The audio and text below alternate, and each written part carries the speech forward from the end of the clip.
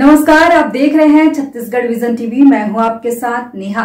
गरियाबंद सिंचाई विभाग द्वारा कराए जा रहे 44 करोड़ के नहर लाइनिंग कार्य में एक बार फिर गड़बड़ी का मामला सामने आया है।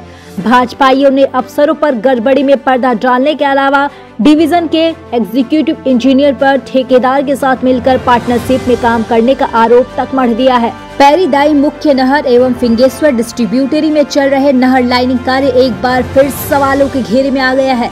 चवालीस करोड़ लागत से बन रहे इस कार्य के पूरा होने से पहले ही जगह जगह दरारें आ गई है। गुणवत्ता युक्त मुरम तराई नहीं करने के अलावा मानक से कम सीमेंट कंक्रीट में इस्तेमाल इसकी वजह बताई गई है। नहर के बेड लेवल पर ड्रेन एवं फोरम ब्लॉक तक नहीं बनाया जा रहा है। करोड़ों के इस काम में साइट पर जवाबदारों की अनुपस्थिति देखी तो भाजपा नेता ये बोल रहे हैं, निर्माण विभाग के एग्जीक्यूटिव इंजीनियर एवं कॉन्ट्रैक्टर के पार्टनरशिप में चल रहा है। हालाँकि एग्जीक्यूटिव इंजीनियर पी के आनंद ने इस आरोप को सिरे से खारिज कर दिया है।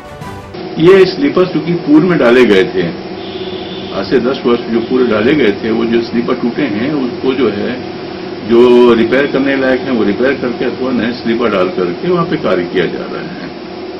तो काफ़ी गुणवत्ता पूर्वक हो रहा है। हमारा भी हमारे पूरे स्टाफ का विज़िट वहाँ पे कंटिन्यूस रहती है। वरिष्ठ अधिकारियों के भी इंस्पेक्शन हो रहे हैं। जी। सर इसमें एक और और इसमें जो है बाकायदा में कंक्रीट हमारा प्लांट लगा हुआ है प्लांट से ही इसमें कंक्रीट बनती है। और कई वर्ष से काम हो रहे हैं इसमें। सर इसमें कॉन्ट्रेक्टर कौन है? जैसे लगाया जाता है कॉन्ट्रेक्टर इसमें है अशोक मिश्र मिसेस अशोक मित्तल कोरबा। पार्टनरशिप का आरोप लगाते हैं भाजपा जी निराधार पूर्णतः गलत है। ऐसा आरोप तो कभी भी किसी अधिकारी पे लगाया जा सकता है। आरोप विषय क्या कहेंगे? काम ठीक हो रहा है सर काम तो बिल्कुल सही हो रहा है। ठीक हो रहा है काम वहाँ पे। काम के दर- दर- दरमियान कभी त्रुटियाँ होती हैं। उसका तत्काल जो है, सुधार के योग्य होता है सुधार किया जाता है, नहीं तो तोड़ के नया किया जाता है। मेरे द्वारा स्वयं कई बिंदुओं पर जो है, तोड़ के नया फिर से निर्माण कराया गया है। इस जल संसाधन संभाग गरियाबंद में लगभग चवालीस करोड़ का काम है, जिसमें ठेकेदार और अधिकारी का मिली भगत है।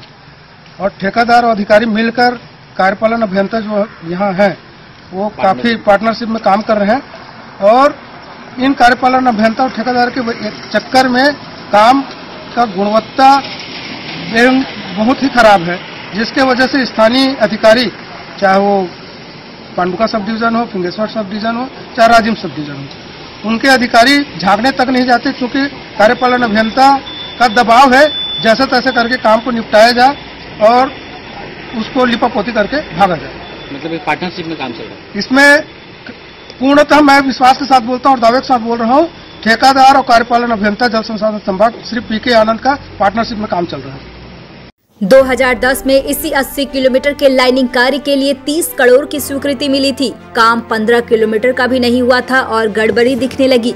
आरोप लगा जाँच हुई तो दोषी पाए गए। तत्कालीन एग्जीक्यूटिव इंजीनियर दिनेश भगोड़िया दो एसडीओ एवं दो सब इंजीनियर को तब के भाजपा सरकार ने निलंबित कर दिया था। फिर से इसी कार्य में अनियमितता की पुनरावृत्ति हुई तो सभी पर्दा डालने की कोशिश किए। जिस एसडीओ को यहाँ की निगरानी का जिम्मा दिया, वो भी मुँह खोलने को तैयार नहीं। इस मामले में सांसद ने कांग्रेस सरकार के ज़ीरो टॉलरेंस पर चुटकी लेते हुए इसे घपलों को पर्दा डालना इस सरकार का फितरत बता दिया है। इस सरकार का तो सबको पता चल गया होगा कि क्या इनकी गतिविधि है। इनको तो बस भैया कमाना खाना है कमाने खाने के लिए आई है सरकार।